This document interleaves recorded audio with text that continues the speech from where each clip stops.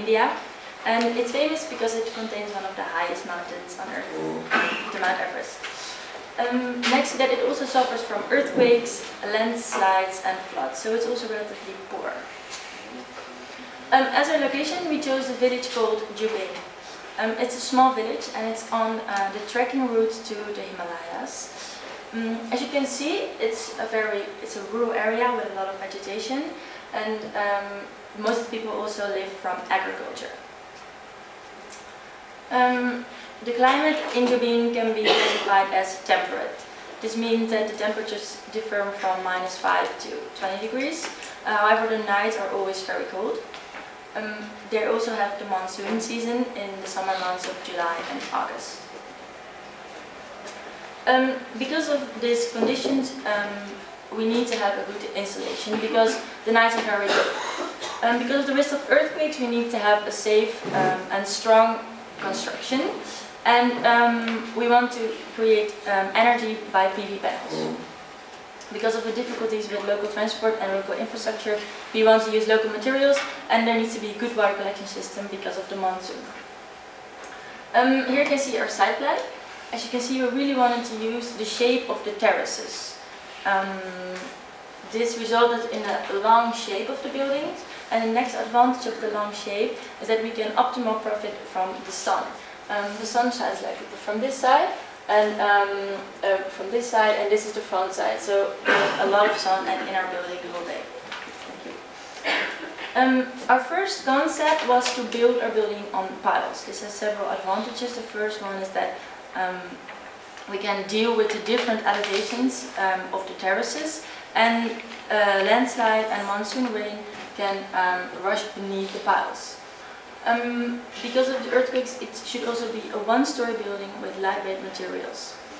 Um, and it should of course be easy to build for the locals. Here you can see our uh, floor plan. We want to build a school for approximately 100 children with three classrooms, therefore we need three teachers who should also be able to live in the building. And it's everything is connected with a very bright corridor over here.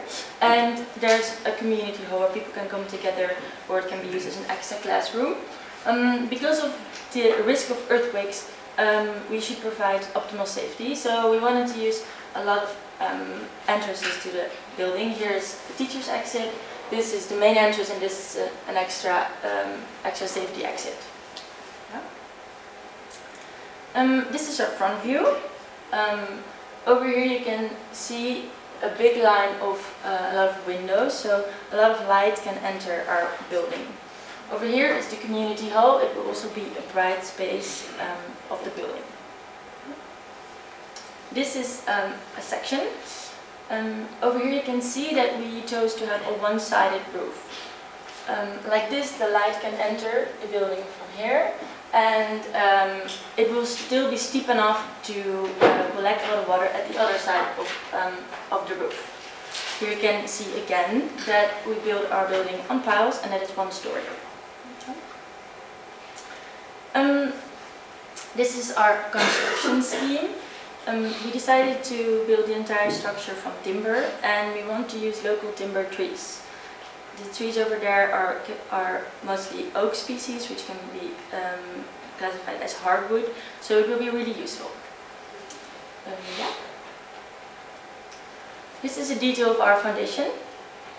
Um, we want to build um, a concrete footing some stones in it and a wooden post on top of it. There will be a connection with a metal strip which can be connected to the wooden post with nails.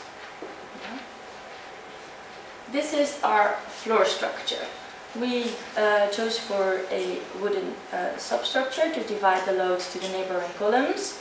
Um, and on top of that will be timber sheeting, sheeting and a um, layer of clay for insulation and another layer of timber sheeting as a cover. This is our wall structure. Um, between the columns will be a network of branches to provide um, stability and strength. And on top of that will be two layers of clay on each side. Um, as we can use it as a plaster. Um, and in winter times we can add straw bales at the side. Um, they can use, they can function as uh, an insulation material. Here you can see our roof structure.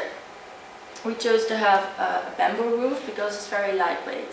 And an extra advantage is that the pipes can serve, um, can act as a pipe so that the water can easily flow away to the other side of the roof. Underneath the bamboo structure will be a, straw, straw layer for insulation and there will be a wooden truss structure um, as to support the whole thing. Here you can see the truss structure again and some um, connection detail. You don't use a very sophisticated way of connection, it's a Japanese connection. You can easily make a gap in this beam and put it together and connect it with screws or nails. This is another connection detail for um, the columns and the beams. We will use it in every every uh, connection point. And we could just use um, L-shaped strips. We can import them and connect the strips to the beams with um, nails or screws. This is our water collection system. As I told you, the water will be collected uh, via the roof and it will end up in one big storage tank of 3,000 liters, which will be built on piles, as you can see here. There will be uh, a pipe to the sanitary um, and the kitchen, but there will also be a, a, a, daily storage tank inside the building of 300 liters. Uh, it will be inside so it can be relatively warm. Yeah, this is our energy system.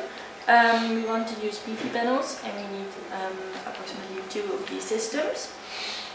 And it will be enough to lighten the building um, and we will also have a battery for some extra energy storage.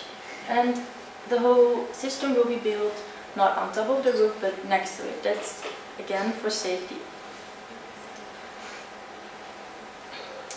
We're not going to heat the building by energy, but um, with an oven. It's a traditional way of heating and it can be built um, out of clay. Will be put in the middle of the, of the building in a community hall so that it can be heated from the center. Um, as a sanitary system, we will use a dry toilet system. Okay, this that was everything I wanted to tell you today. Thank you for your attention.